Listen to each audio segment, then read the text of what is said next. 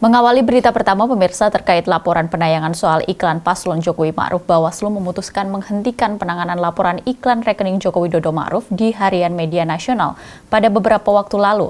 Hal tersebut diduga paslon berkampanye di luar jadwal.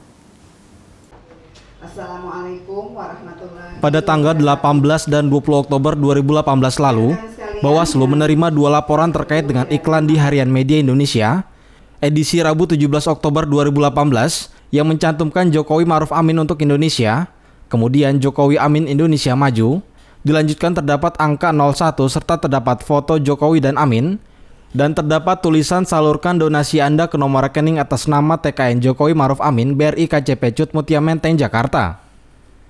Dalam isi laporan tersebut diduga merupakan tindak pidana pemilu sebagaimana yang dimaksud dalam pasal 492 Undang-Undang Nomor 7 Tahun 2017 tentang pemilihan umum yang dilakukan oleh paslon capres dan cawapres Jokowi Maruf Amin serta tim kampanye nasional Jokowi Maruf Amin.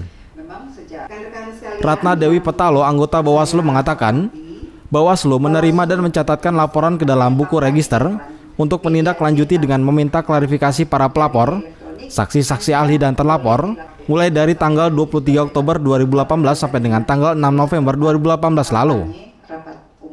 Dikarenakan laporan merupakan dugaan tindak pidana pemilu, Bawaslu bersama Kepolisian dan Kejaksaan, tiga Kumdu, telah melakukan beberapa kali pembahasan atas laporan tersebut. Ya, mulai dari pembahasan satu, ketika kami uh, ingin menentukan uh, keterpenuhan syarat formil dan material, dan juga pembahasan dua untuk menentukan keterpenuhan unsur-unsur pidana pemilu. Pembahasan ini dilakukan dengan prosedur peraturan peraturan Bawaslu nomor 9 tentang sentra penegakan hukum terpadu. Bahwa dalam proses penanganan tersebut ada hal penting yang ingin kami sampaikan berdasarkan proses yang kami lakukan pihak harian media Indonesia sebagai pihak yang menerbitkan iklan menurut Bawaslu telah bersifat bersikap tidak kooperatif dengan menyembunyikan siapa yang melakukan pemesanan iklan tersebut. Rosalia Suciati, Surya Saputra memberitakan dari Jakarta.